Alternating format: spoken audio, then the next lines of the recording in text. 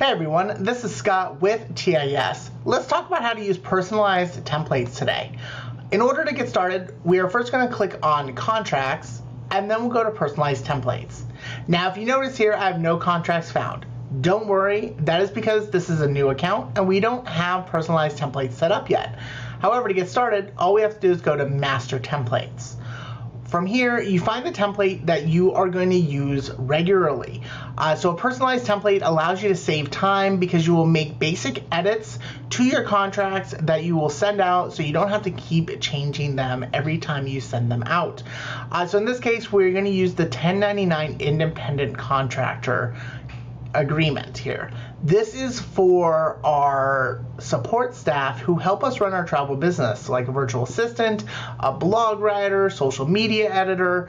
Uh, this is not for our independent travel agents who are acting as independent contractors selling travel on our behalf.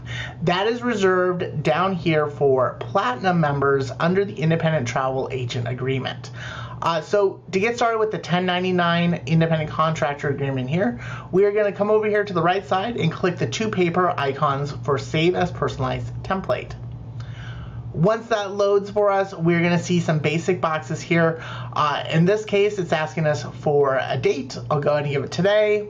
We'll give this customer a name, uh, and then also we'll, we'll say what the basic term is here and you'll see that that fills in any information that is in placeholders right here when I click next. So this has been updated to Jasper Jackson. We have today's date and also inside of the agreement within the eight pages, it will have the term as 12 months. From this point, we can add in any signature boxes or other information that we would be collecting here with these content cards, or we can just save as a personalized template. Personally, I'm a fan of saving as a personalized template here. Say 1099 contractor agreement, and then click save. Once you've done this, this will now appear under the personalized templates on the left side for us to edit, delete, or execute. When we edit, it's going to pull up the information for our contract in a text editor this is going to be where we can come in and add placeholder text uh, because this is something that the date itself is not always going to be effective today. It's going to be effective at some point in the future. So I'm going to delete that and add a line as placeholder. Same thing for the contractor here. My dog does not need to be on every single contract I send, so I'm going to replace that and add in a line. Now I could do that for the term as well. However, most of the time I do 12 month terms. So I will go ahead and leave that. As I scroll down here to the very, very bottom, uh, you'll also notice a section here for us to gather signatures, names, dates, titles, etc. Uh, I typically add in my own information into the text editor uh, before I save this because I want to save time later on, and I don't want to have to keep entering this, and my information is not going to change. The contractor's information will, though. Uh, so I would fill in the rest of this here just so that it's there. So if I just say operations manager, uh, it's there, always going to be there until I edit it again. And then down here we have the description of what the specific contract is for. So this contract, even though it's 1099 contractor agreement, I may use this for my blog and then I would enter the services of writing a 500 to 1000 word blog post twice a month.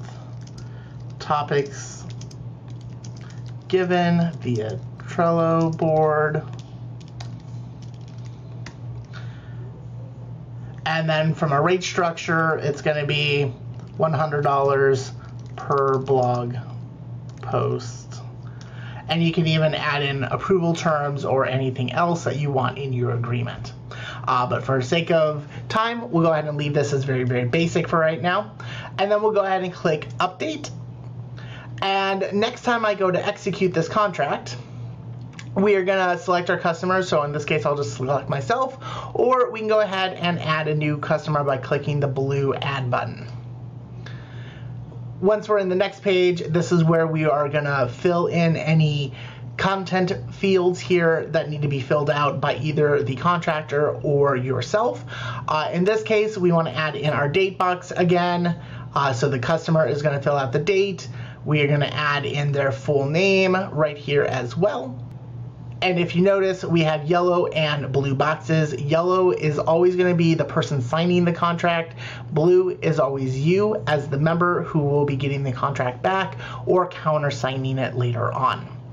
Uh, if I click next page a few times, it will take us to our signature page and I will repeat this here, adding in the signature box as well as the name, title, date, address, etc. Uh, for myself as well as the contractor.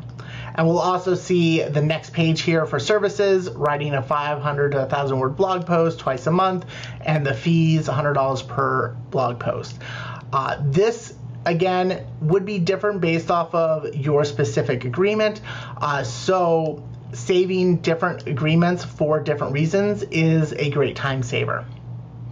Last thing that you're going to do is send the document once it's prepared for everyone to sign. And that will pull us back to our personalized template, and that individual and yourself will receive an email that there are signatures waiting. Thanks for watching this how-to video about personalized templates. If you think of any questions on how to use them, feel free to reach out to us. We're always here to help make sure you're successful, but I look forward to seeing you in our next how-to video.